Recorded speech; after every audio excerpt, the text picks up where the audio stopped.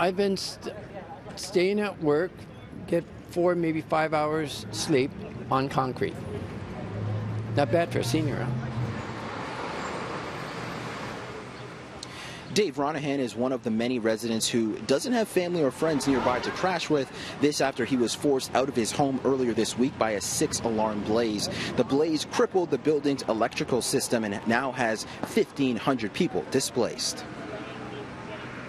I'm Brandon Rowe at 650 Parliament Street, where the city tells us fire investigators are still trying to figure out what caused this blaze, and uh, they're still trying to determine when residents can actually move back into this apartment. As for uh, Dave, he actually showed up to the apartment today and uh, was trying to find out uh, the condition of the unit and to see if any items were left that could be salvaged.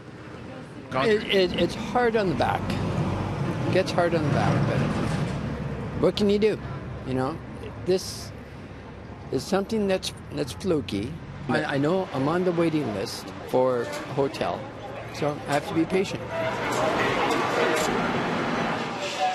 As far as everything in the unit, I have gone back to get a few things.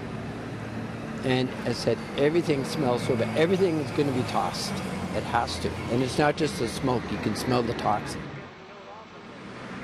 The city tells us that uh, as of this afternoon, accommodations have been secured for all but four residents. Now, displaced people are staying in 16 hotels across the GTA, including Brampton and Guelph. Now, Dave Ronahan does not have kids living in his unit, but there are concerns for the hundreds of families, especially those with kids, trying to cope with losing their home. And uh, this is added stress for those that are uh, starting school. We reached out to the TDSB to see what they're doing to help, and they sent City News this statement.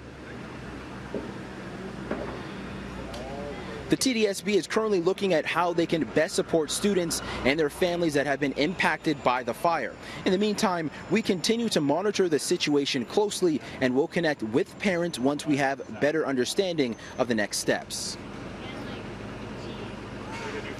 The city says efforts are underway to relocate residents from hotels outside of Toronto by tomorrow to make it easier for families to get to work and school.